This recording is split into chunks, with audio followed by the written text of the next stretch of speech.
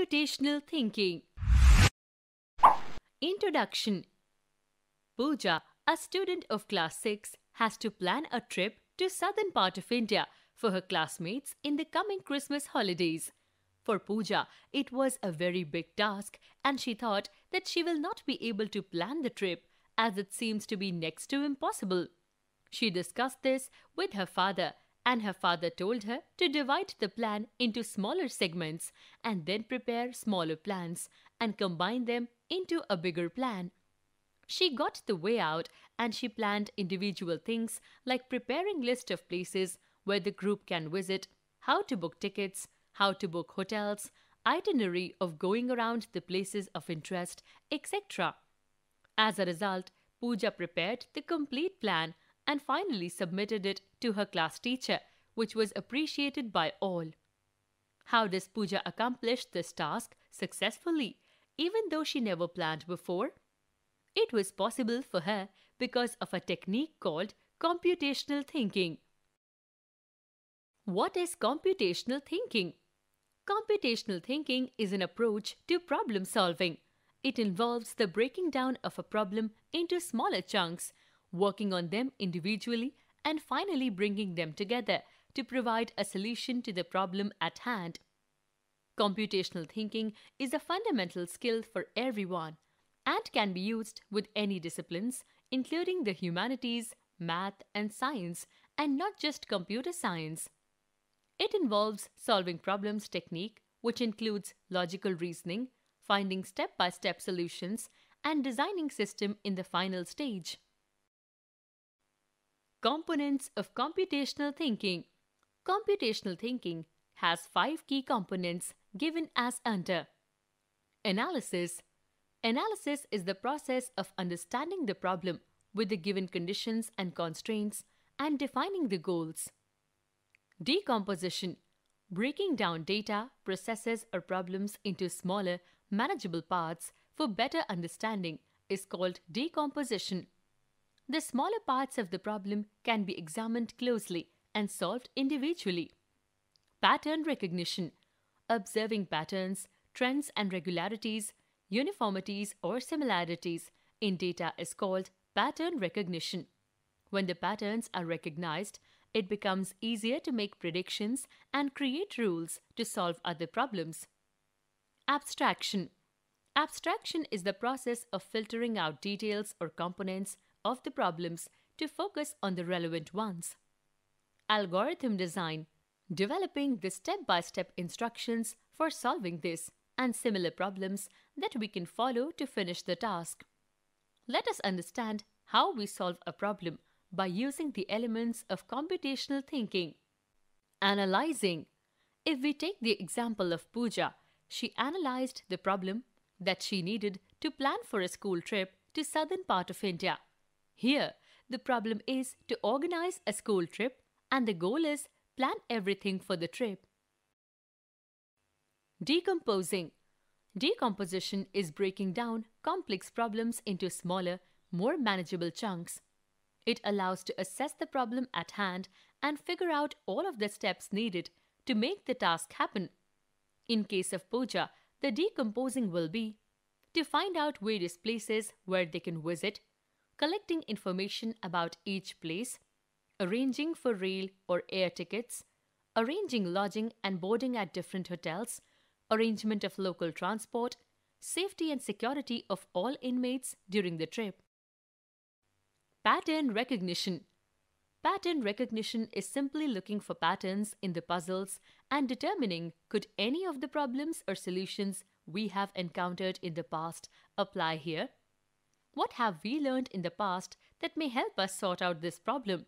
If you have ever drawn a group of similar pictures like a bunch of balloons, you will understand the importance of patterns. When making the first balloon, it will be likely that you took much longer to draw than making the fourth or fifth balloon. When we repeat steps in our drawing, we learn how to solve the instructions more quickly and learn from our mistakes. The painstaking process of making that first balloon teaches us the skills to perform the process more efficiently in the future. So, Pooja asks her father for his experience and further searches on the internet. She recognizes similarities between her goal and an existing procedure that experts or her father have followed. Patterns exist among different problems and within the individual issues. We need to look for both.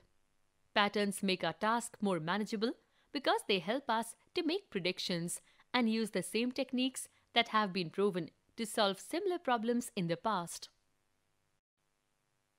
Abstraction Abstraction focuses on essential features and avoids unnecessary complexity, as in the above example, while searching on the internet and talking to experts, Pooja finds that there are tour operators which not only plan but also provide her with some discounts which will bring the cost of the trip further down.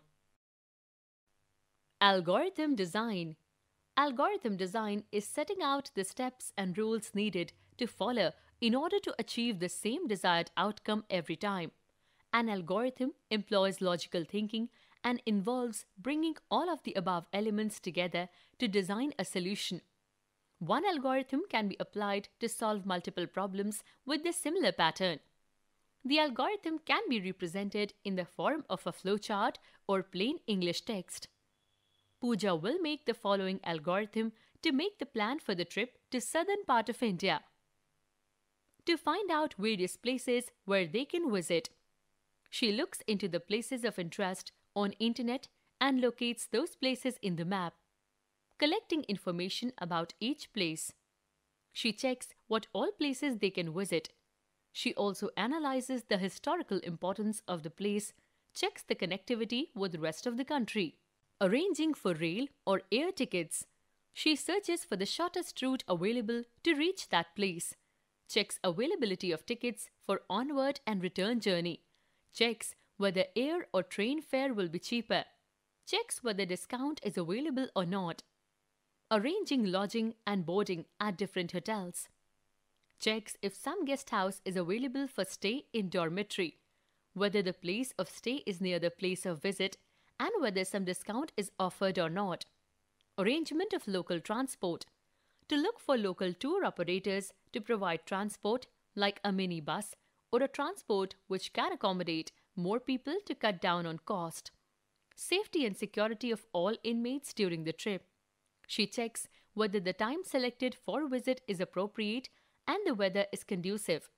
Checks that the places are safe to visit, no high tide, or no water bodies if moving by water, whether safety jackets are provided by the operator or not, the medical treatment and requirement of carrying essential first aid kit, etc.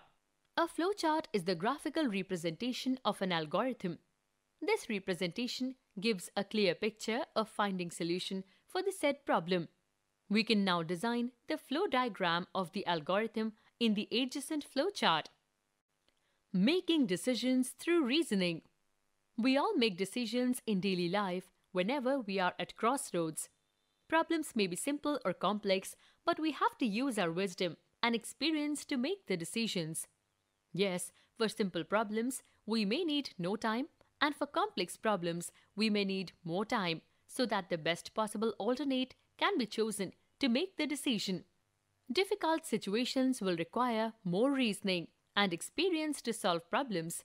Let us understand this with a mathematical equation. Consider the following mathematical expression. 5 plus 10 is equal to 15. 20 by 10 is equal to 2. 100 into 2 is equal to 200. 80 minus 40 is equal to 40. Yes, you are right. They are simple mathematical problems and with no or a little effort, we can find their solution. Now consider the following equation. 20 into 8 minus 8 into 56 minus 3 into 18 plus 5 exponent 8 into 50 plus 150 by 6 into 3 exponent 3 by 6. This problem needs thinking about the computational rules of mathematics and breaking this into smaller parts and then combining the result to find the solution. We will apply BODMAS rule to give right solution for the above mathematical problem. Let us take another example where you have to select two meals, both either veg or non-veg, as per the choices available in the following table. Stall A, Stall B. Recipe, type Mutton Angara, non-veg. Shakat Seekh Kebab, non-veg. Crispy Kothimber Vadi, veg. Hara Bhara Kebab recipe, veg. Mutton Burra Kebab, non-veg. Lilwa Kachori, veg. Dal Vada, veg. Fish Kuwada, non-veg. Tandoori Jalpuri, non-veg. Paneer Kulcha, veg. Conditions There are certain conditions and rules to be followed by everyone before making the selection from the given list of recipes. Rules to select the combination are as follows. Each guest has to take only two recipes. Selection of one recipe from each section is compulsory. You can select either both the recipes as veg or non-veg. Combination is not permitted. Let us take another example. Look at the following question. Find out what completes the figure matrix with the options. The main logical thinking steps in solving the above figure are Task Study the problem carefully. Here, three shapes are given. We have to find out what comes next in the question mark box. Identify Goal To find the fourth figure in the matrix. Information In the matrix, the first shape has two dots, the adjacent box has four dots, and the third box has three dots. Condition In the matrix, the right side box contains twice the number of dots in the left box. Solve. Now we will solve the puzzle by using the given information and the given condition. Reasoning. The question mark box will have shape with 6 dots as 3 into 2 is equal to 6. Solution. So, the solution is D part. This proves that with logical reasoning, any problem can be solved by using skills and experience. Using computational thinking for programming. When you develop computer programs, computational thinking enables you to work out exactly what to tell the computer to do and then convert it into a program by using an appropriate programming language. Importance of computational thinking. Computational thinking gives us the courage to solve complex problems and design systems that none of us can ever think of. Computational thinking fosters key skills in all of us, like problem solving. In computational thinking, it refers to solving problems with logical thinking through using various computational models. This includes applying problem breakdown to identify problems and or generating alternative of them. At this level, students distinguish between problems and decide whether these problems can or cannot be solved computationally. Furthermore, students are able to evaluate a problem and specify appropriate criteria in order to develop applicable abstractions. Perseverance. Students learn not to give up and learn not to be intimidated by the complexity of a problem and accomplish the task by following the principles of computational thinking. Build algorithms. It involves the construction of step-by-step procedures for solving a particular problem. Selection of appropriate algorithmic techniques is a crucial part of thinking computationally, as this develops abstractions robust enough that they can be reused to solve similar problems. Debugging it is analyzing problems and errors in logic or in activities. At this stage, students receive feedback on their algorithms and evaluate them accordingly, which also includes reviewing current rules and or strategies used. Debugging is central to both programming and computational thinking because it involves critical and procedural thinking. In simulation, students design or run models as test beds to make decision about which circumstances to consider when completing their abstraction. Socializing. It refers to the social aspect of computational thinking, which involves coordination, cooperation, and or competition during the stages of problem solving, algorithm building, debugging, and simulation. This characteristic of computational thinking allows brainstorming and encourages assessment of incidents, as well as strategy development among multiple parties. And so, socializing is one distinct feature of computational thinking that distinguishes